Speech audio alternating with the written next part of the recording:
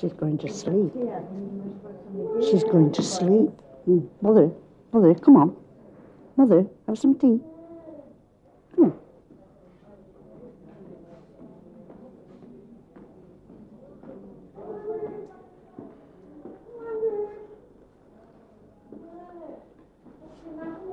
Mm.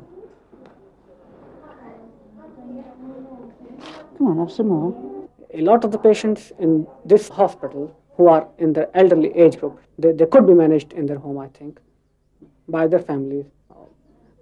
It is only a process of their uh, age. It's a normal process of aging that they get demented, they get confused, and they're incontinent, but they should be looked after in their homes as anywhere else in the world they are.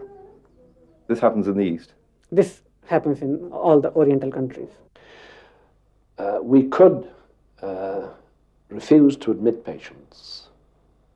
Uh, and there are some hospitals uh, which do so. Uh, here we've decided on uh, a fairly liberal admission policy.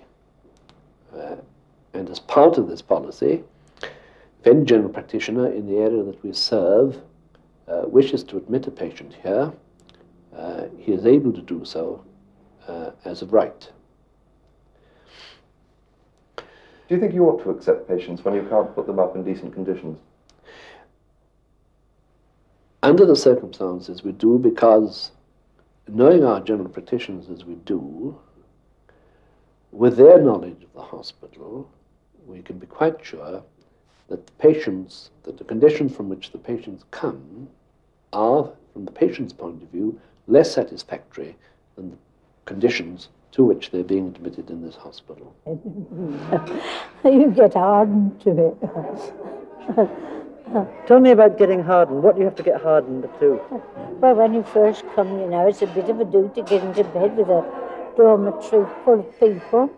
You can't rest, but you get hardened to it. How long have you been here, Harriet? 44 years nearly. You're sure on that, are you? Sure.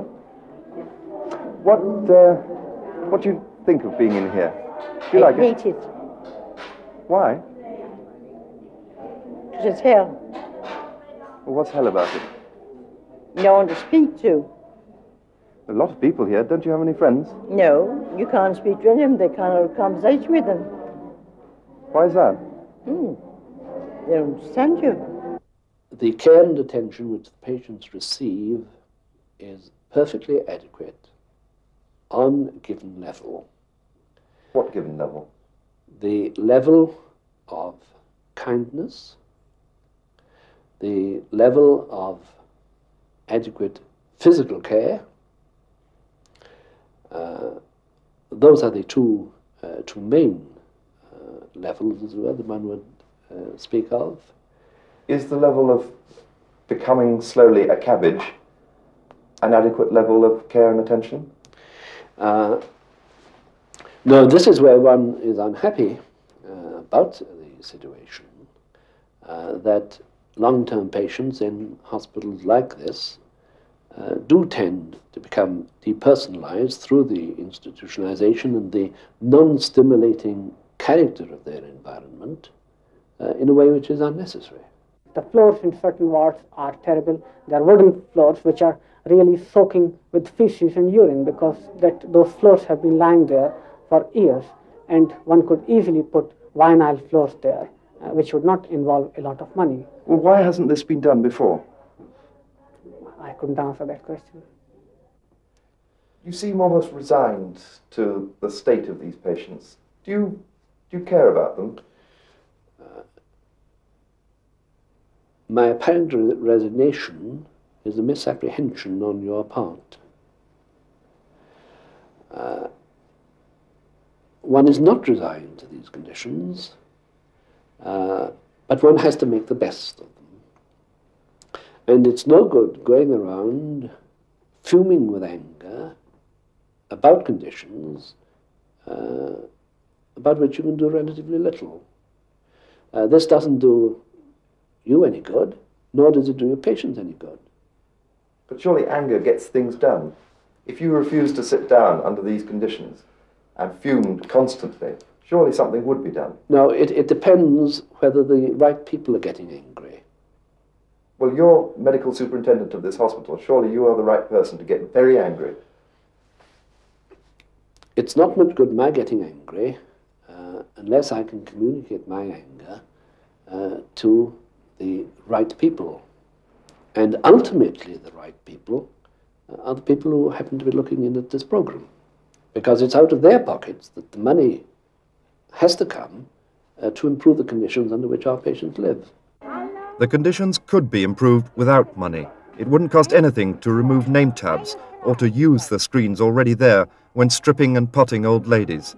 Society may be guilty in the way it treats its old people, but the immediate responsibility for the care of these patients and thousands like them in Britain lies with the Dr. Spencers and their management committees.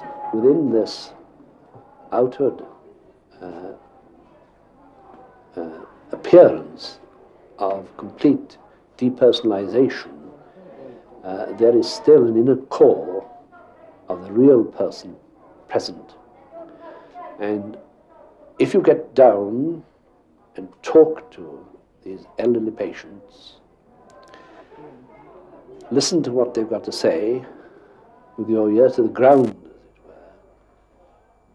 you, you hear far more than you expect to hear, and you appreciate that these patients are by no means as depersonalized and deteriorated as they appear to be on the surface.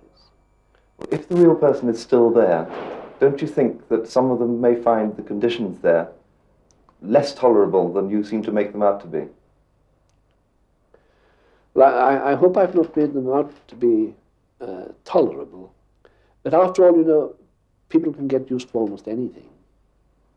Uh, and you could get, used to living in the uh, annex wards. There's no doubt but that the annex uh, should be pulled down. Uh, it's never built for the purpose it serves today as an active, or seeks to serve as an active psychiatric hospital. Say it was built for pauper lunatics.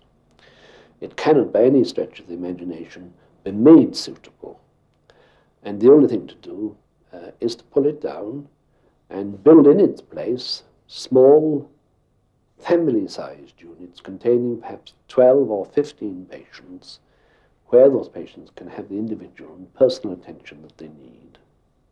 Well, this building is now 100 years old and uh, it's been unsuitable for a very long time. Why hasn't it been pulled down before?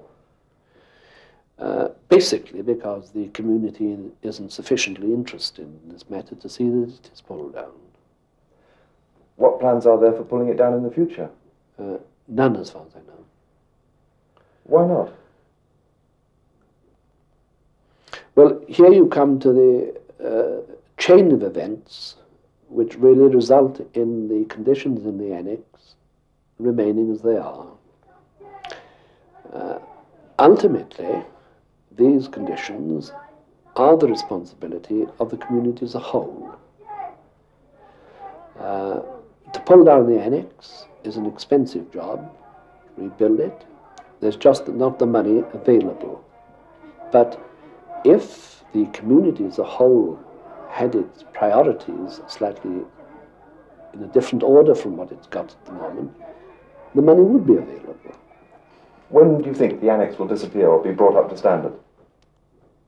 The annex cannot, in the first place, be brought up to standard, and this applies to an enormous amount of mental hospital building, which we've inherited from the Victorians uh, and which we've done nothing about replacing. This problem isn't peculiar to this hospital in any way at all. As to when uh, the annex will be replaced, uh, I don't know, nor do I think anybody else knows. We shall just go on and on as we are at present.